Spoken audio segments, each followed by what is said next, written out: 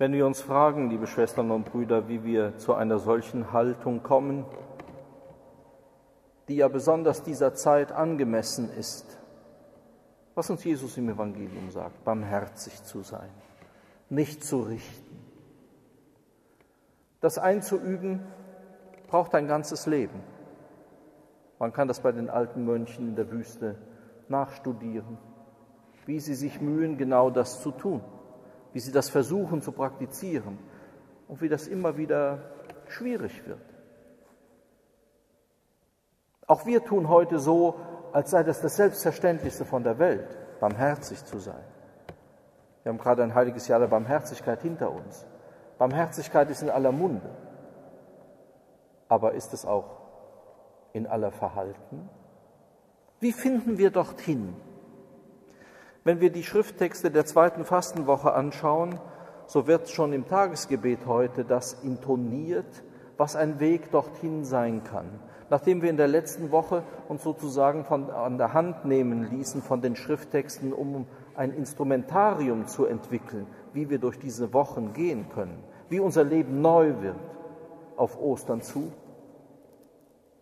ist es in der zweiten Woche der Gedanke der Buße der in den Vordergrund tritt.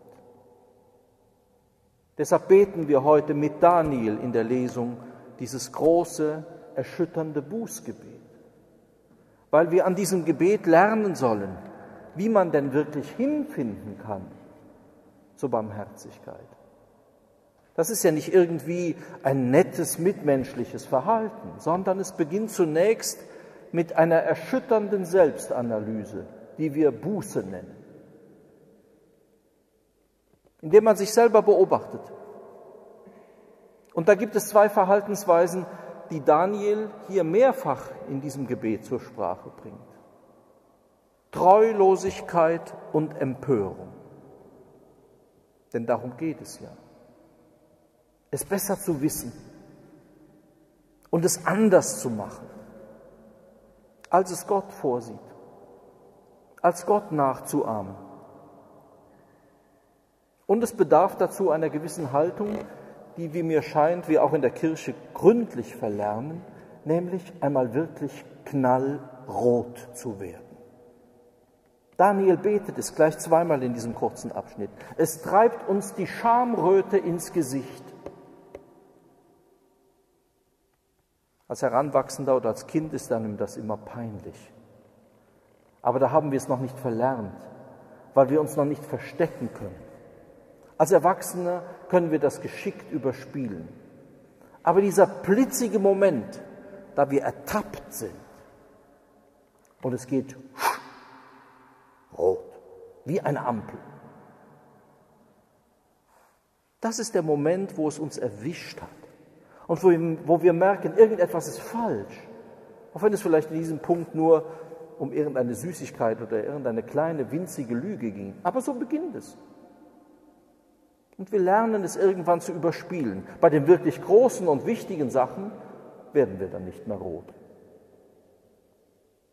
Es wäre wichtig, diese kindliche Haltung wieder zu entdecken, uns wirklich für Dinge zu schämen, die wir tun, weil sie schämenswert sind.